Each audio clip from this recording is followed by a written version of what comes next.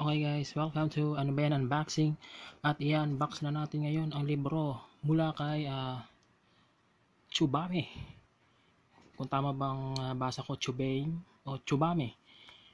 Mula sa Puff Fiction. Wala ba dito yun, ay sorry.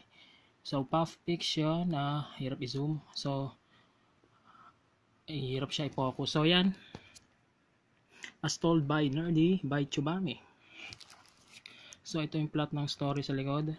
Yan. So, siya ay 195 pesos. Again, mula sa book design at illustrations ni James John Address. So, 195 pesos, 16 years old and above lang ang pwedeng bumasa nito. As told by Nerdy by Chubame from Wattpad by Puff Fiction Teen Fic. Yan ang ating ano ba yan? Unboxing.